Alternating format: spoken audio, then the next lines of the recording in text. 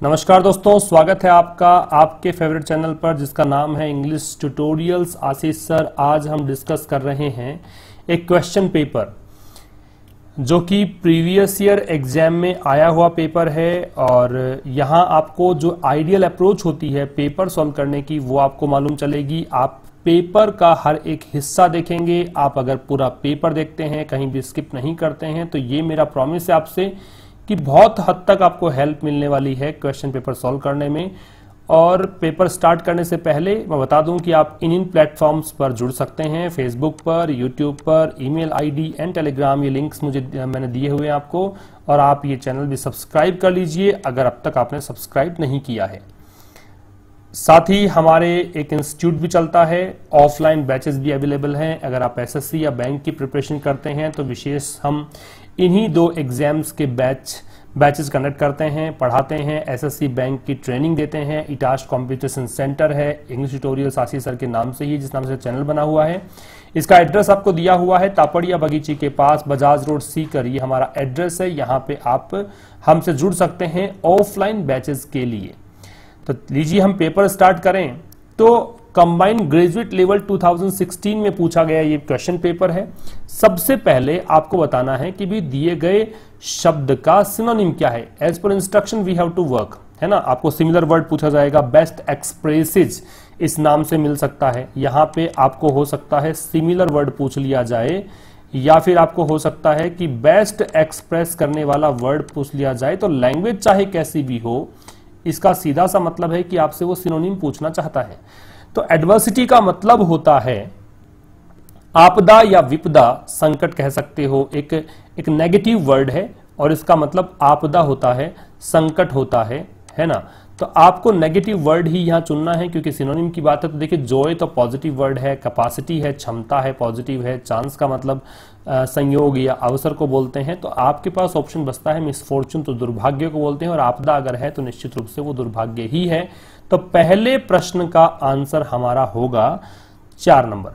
Number दो पे आपसे पूछा गया है कि भाई एंटोनिम बताएँ आप तो एंटोनिम का मतलब ऑपोजिट वर्ड्स तो यहाँ पे आपसे पूछा जा सकता है दूसरी लैंग्वेज में कि भी ऑपोजिट क्या है इसका। तो टर्मिनेट जो शब्द है टर्मिनेट का मतलब होता है समाप्त करना। क्या होता है? समाप्त करना। ठीक है? अंत करना टर्मिनेट करना। तो इसका एंटोनिम समाप्त करने का शुरुआत करना होगा। तो देखिए कन्फाइन जो शब्द है, इसका मतलब तो होता है लिमिट करना, सीमित कर देना। ये भी लिखिएगा। बड़ा ही इंपॉर्टेंट ये वर्ड है। कन्फाइन का मतलब है लिमिट करना। रिपील जो वर्ड है, इसका मायने होता है कानून को समाप्त कर देना, है ना? किसी भी कानून आदि को समाप्त कर देने को। एब्रोगेट इसका सिनोनिम हो सकता है। एब्रोगेट नलीफाई ये सब रेसिंड हो सकता है। तो ये सिनोनिम है इसका नलीफाई करना, कानून आदि का समाप्त कर देना। कमेंस का मतलब शुरुआत करना है, जो हमें चाहिए था, वो आंसर होगा। तीन नंबर कमेंस और प्रोग्रेस है, इससे मतलब है प्रगति करना। ठीक है? तो आपका दूसरा जो प्रश्न है, उसका आंसर क्या होगा?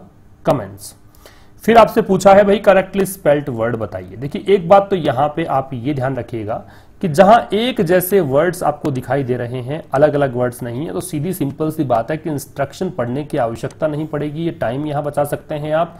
कि सीधी बात है करेक्टली स्पेल्ट ही पूछा, क्योंकि चार स्पेलिंग तो सही हो नहीं सकती, तीन तो स्पेलिंग सही नहीं मिलेगी, आपको एक ही सही मिलेगी।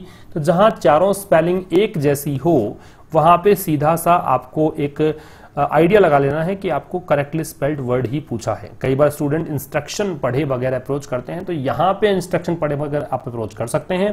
तो क्विंट की स्पेलिंग जो होती है, वो होती है, देखिए, दो नंबर में आपको दी हुई है स्पेलिंग ये होती है quintessence Q U I N T है ना, और इसेंस होता ही है इसेंस का मतलब सार होता ही है।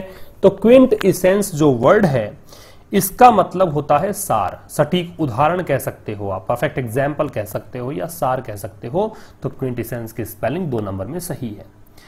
चलिए देखते हैं, तीन क्वेश्चन हमने सॉल्व कर लिए हैं। अगले प्रश्न की हम बात करें तो फिर आपसे पूछा है भाई कॉमन एरर एरर बतानी है आपको। तो चार नंबर में हम पढ़े अगर if the farmer got a washing machine his wife can do the laundry quickly तो यहाँ देखिएगा गोट जो शब्द दिया हुआ है, वो वी टू फॉर्म है। और यहाँ जो कैन है, वो दिया हुआ है वी वन फॉर्म में। ये आपको कंडीशनल सेंटेंस दिया हुआ है और कंडीशनल सेंटेंस में भी सेकंड कंडीशनल सेंटेंस ये है कि जब इफ़ वाले क्लास में वी टू लगता है तो हम क्या लेते हैं? डिसीज़न कि हम लगाएँगे कुड वुड शुड या माइट है ना? कुड वुड शुड या माइट आपको मॉडल की सेकंड फॉर्म यूज़ करनी पड़ती है। If we have second form of verb with if है ना? In if clause if we have second form then we have to place could would might और should as per requirement so यहाँ पे can के स्थान पे फिर could आएगा तो ये वी वन फॉर्म गलत है। यहाँ पे आपको कुड करना पड़ेगा। दो नंबर आपका आंसर होना चाहिए। आपको समझ में आ गया होगा क्या बताया मैंने, क्योंकि पास्ट का सेंटेंस है, ऐसे भी आप देख सकते हैं। अब आगे अगर पूछेंगे कि सर यहाँ पे डू कैसे फ़र्स्ट फॉर्म है वी ज़ीरो है इसलिए है यहाँ पे क्योंकि मॉडल है। मॉडल के साथ में हमेशा वी ज़ीरो लगता है तो ये तो परफेक्ट है, लेकिन दो नंबर में कुड होना चाहिए। नंबर फाइव में आपसे पूछा है they had often heard about the ship they have to travel on same प्रकार की मिस्टेक यहाँ पे है। भाई, यहाँ पे हैड बताया आपने, इसका मतलब आप बता रहे हैं कि दिया गया सेंटेंस पास्ट में है। और पास्ट में है तो फिर यहाँ प्रेजेंट कैसे किया आपने कि they had often heard about the ship उन्होंने अक्सर सुना था उस शिप के बारे में, जिसमें उन्हें ट्रेवल करनी थी, है ना? अगर आप यहाँ पे हैव करेंगे, जिनमें ट्रेवल करना है दे हैव ऑफन हर्ड उन्होंने अक्सर सुना है उस शिप के बारे में, जिन्हें उन्हें ट्रेवल करना है। देखिए, आपको मैन पार्ट ऑफ़ सेंटेंस हमेशा देखना पड़ता है कि मुख्य हिस्सा किसमें है। मुख्य हिस्सा जो है they had often heard about the ship ये वाला है, ये मैन क्लास यहाँ पे है, इसलिए इसको देखते हुए आप इसको भी पास्ट में कन्वर्ट करेंगे तो हैव के स्थान पे कर दीजिएगा हैड ठीक है जी? तो यहाँ पे आपका आंसर होगा तीन नंबर क्या कारण बताया है? क्योंकि पास्ट में दे रखा है तो आपको जो वर्ब दे रखी है प्रेजेंट फॉर्म में, उसको भी कन्वर्ट करना है पास्ट में। चलिए सर नेक्स्ट आगे बात करते हैं। He had no sooner seen one continent when he saw another अब देखिएगा साहब, यहाँ पे सोनर का प्रयोग किया गया है। सोनर जो है, वो डिग्री है कंपैरेटिव और कंपैरेटिव डिग्री में हम वैन का प्रयोग नहीं करते हैं देन लगाते हैं। और वैसे आपने पढ़ा भी होगा कि जब भी नो सुनर का प्रयोग हम करते हैं तो वहाँ पे प्रयोग भी हम किसका करते हैं? देन का ही करते हैं वैन का तो करते नहीं है। तो यहाँ देन लगना चाहिए था, बहुत ही सिंपल सा क्वेश्चन ये था तो आंसर आपका होगा तीन नंबर ओके फिर फिल इन द ब्लैंक से कुछ क्वेश्चन यहाँ पे आपको सोल्व करने हैं। जल्दी से देखते हैं फिल इन द ब्लैंक जो अगला पोर्शन है, उसमें सेवंथ क्वेश्चन की बात करें। The ship with its crew dash gone to the bottom of sea so so, यहाँ आपको देखना है भी सब्जेक्ट क्या है। ये एक जो ब्लैंक है मैं कहूँगा सब्जेक्ट वर्ब एग्रीमेंट से संबंधित एक ब्लैंक है जो आप कॉनकोड पढ़ते हैं ग्रामर में वहाँ वो काम आएगा यहाँ पे। तो विद जब लगता है या टुगेदर विद लगता है या और भी वर्ड्स होते हैं जैसे कंट्रोल्ड बाई हो हेडेड बाई हो लेड बाई हो इन एडिशन टू हो बिसाइड्स हो है ना विद ऑल हो ये जो शब्द होते हैं इन शब्दों के होने पर आपको पहले वाला वर्ड देखना है। क्योंकि सीधी सी बात है बॉटम जो सी के बॉटम में गया तो कौन गया? क्रू गया या शिप गया? इसमें उल्टा पढ़ते हैं कि पूरे क्रू जो है, जो वहाँ के चालक दल है, जो स्टाफ है, उसके साथ साथ शिप भी चला गया बॉटम में। शिप चला गया बॉटम में तो शिप के लिए क्या लगाना है? सिंगुलर लगाना है। और देखिए सिंगुलर ये तो है नहीं, ये यहाँ पे है नहीं नन ऑफ़ दीज एक ऑप्शन है तो हैज़ लगा सकते हैं क्योंकि एच के साथ में थर्ड फॉर्म आती है। और यहाँ थर्ड फॉर्म का पास्ट पार्टिसिपल फॉर्म का हमने प्रयोग भी किया है है ना? गोन दिया हुआ है, इसलिए आप हैज़ यहाँ पे सही मानेंगे। एट आपसे पूछा है कि द पियोन रेस्पेक्टफुली आज if he dash go there ये देखिएगा आज आपको दिया हुआ है वी टू तो ये संकेत है कि आगे आने वाला जो चीज़ है, वो भी पास्ट में चलेगा पास्ट में चलेगा। तो देखिए मे है प्रेजेंट है कैन प्रेजेंट है विल प्रेजेंट है तो आपका सीधा सीधा आंसर हो गया दो नंबर माइट नंबर नाइन में है I know dash certain that he has gone to England यहाँ बताना चाहूँगा, एक आपने मूवीज़ वगैरह में सीरियल जो देखते हैं, या आपको इंग्लिश अगर अच्छे से बोलना आता है तो काफ़ी बार आपने यूज़ करते हुए सुना होगा, बोला भी होगा फॉर श्योर है ना? निश्चित रूप से। जिसे मैं कहूँ कि I will teach you for sure मैं निश्चित रूप से आपको पढ़ाऊँगा। फॉर श्योर का मतलब होता है निश्चित रूप से। तो ऐसा ही यहाँ पे सर्टेन है। श्योर तो नहीं है, लेकिन सर्टेन है। तो वही आपको प्रेपोजिशन प्लेस करना है, चार नंबर। तो for certain I know for certain that he has gone to मुझे निश्चित रूप से पता है, मुझे पक्का पता है कि वो इंग्लैंड गया है, ये इसका मीनिंग है तो नाइन्थ में आपका आंसर होगा चार नंबर। ठीक है सर अभी आगे शुरू हुआ है ईडियम्स एंड फ्रेजेस का सफ़र। तो पहला ईडियम एंड फ्रेज का देखिए टू ईट हम्बल पाई का मतलब क्या है? To eat eat humble pie का मतलब यहाँ पे मैं टिक कर देता हूँ। इसका मतलब होता है to yield under humiliating circumstances अपमानजनक स्थितियों में घुटने टेकना, है ना, आत्मसमर्पण करना, किसी के सामने हार मान जाना, या फिर अपमान का घूट पीना, इस तरह का कह सकते हो आप। तो हम्बल पाई ईट करने का मतलब है कि आप कोई अपमानजनक स्थितियों का जो घूट है वो पीना पड़ता है आपको, उसके सामने आप घुटने टेक देते हैं, आप रेसिस्ट नहीं करते हैं। तो आपका आंसर होगा तीन number. To end in smoke का मतलब क्या होता है? देखिए एंड इन स्मोक अंततः कोई चीज़ जो है धुआँ हो जाता है। तो इसका मतलब क्या है? धुआँ हो जाता है, इसके दो मतलब निकलते हैं, या तो फेल हो जाता है, या फिर एंड हो जाता है। एक बात और बता देता हूँ यहाँ पे इंपॉर्टेंट कि जब भी हम बात करते हैं ईडियम्स एंड फ्रेजेस के बारे में तो वहाँ हमेशा एक चीज़ को याद रखिएगा, जहन में रखिएगा कि वहाँ कभी भी आपको वो ऑप्शन नहीं चुनना है जो एग्जैक्ट हो। एग्जैक्ट वही बताता हो जो आपको दिया हुआ है। तो देखिए एंड इन स्मोक का जो है स्मोक स्मोक यहाँ दिया हुआ है। तो ये दो ऑप्शन तो वैसे भी आप यहाँ पे एलिमिनेट कर सकते हैं। दो बचते हैं। एंड इन स्मोक का मतलब फेल होना, क्योंकि एंड भी होता है अगर कोई कोई कार्यक्रम। जो भी आप करना चाहते हैं, जो भी आपके मोटिव्स हैं फुलफिल करना चाहते हैं, आप किस चीज़ के लिए आगे बढ़ रहे हैं तो वहाँ पे भी फेल होना ही है। तो इसमें समाहित है आपके तीन नंबर भी तो फेल कर दीजिएगा। असफल होना। अंततः असफल हो गया है। अंततः अंत हुआ है स्मोक के रूप में। देखिए, एंड तो वैसे भी दे रखा है। तो आप सीधा एक नंबर में जाए। तो स्पिल द बीन्स देखिए बीन्स दालों को बोलते हैं स्पिल का बिखेरना होता है।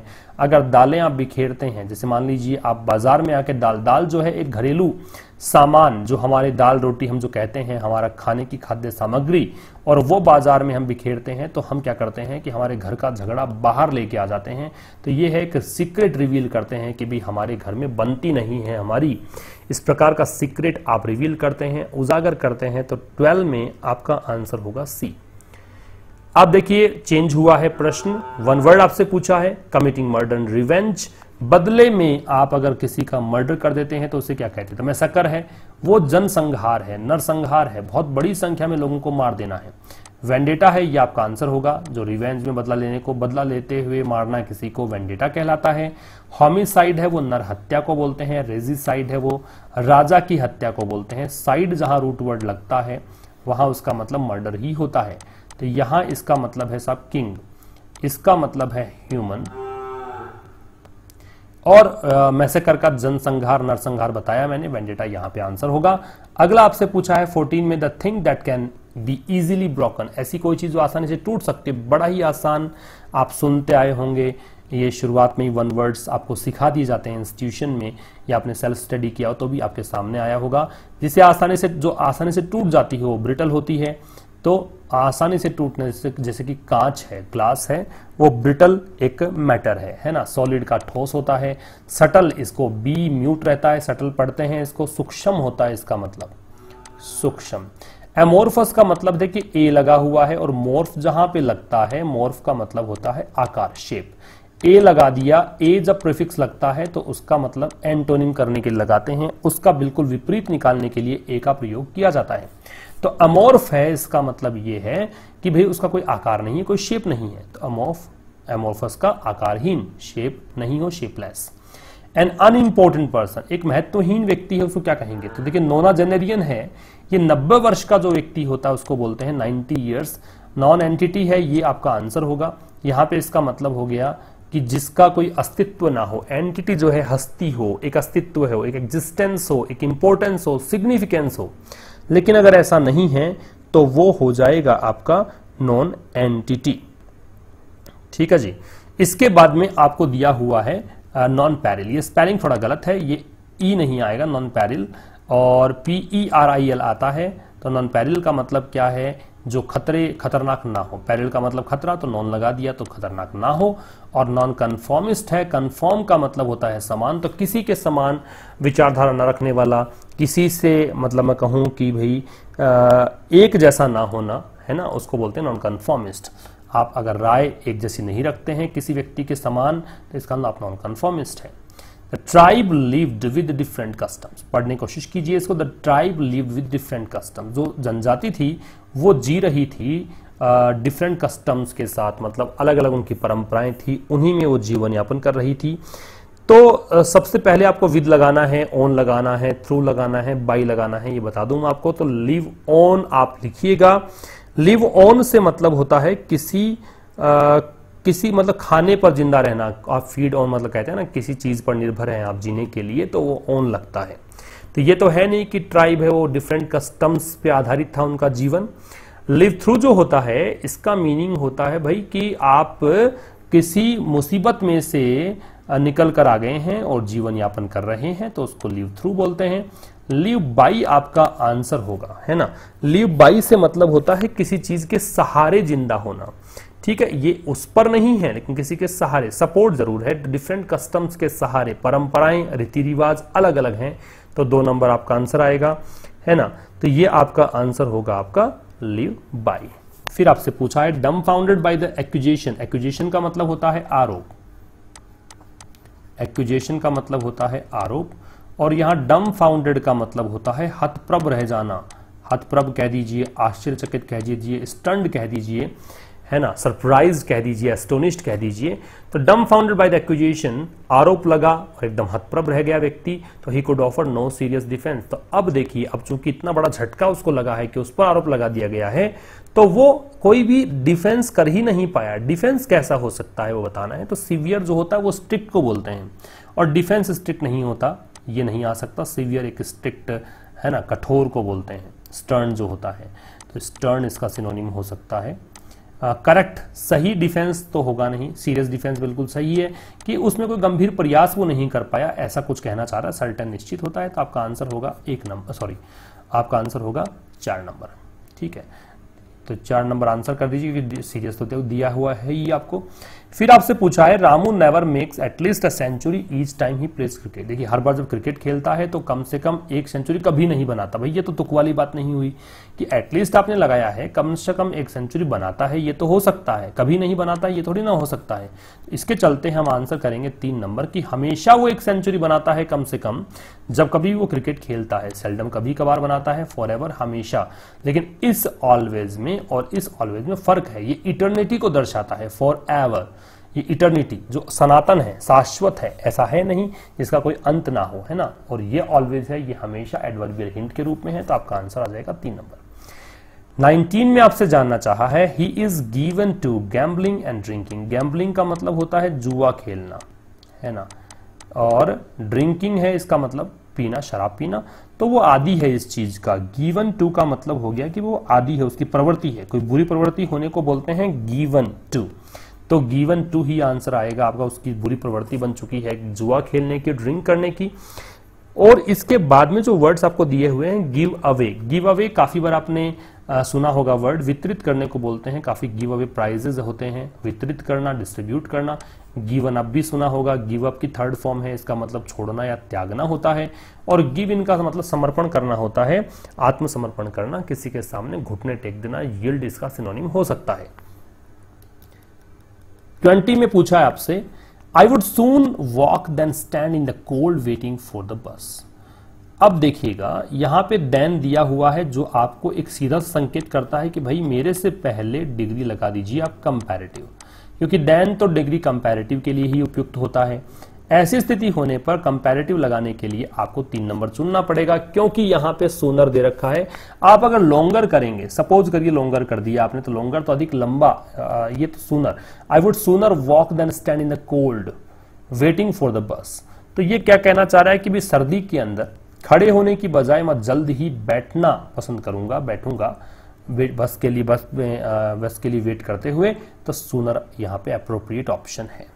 अब आ गया है सर पैसेज आपके सामने और पैसेज सॉल्व करने के लिए बहुत ही एक सिंपल सा तरीका देखिए, बताता हूँ मैं आपको।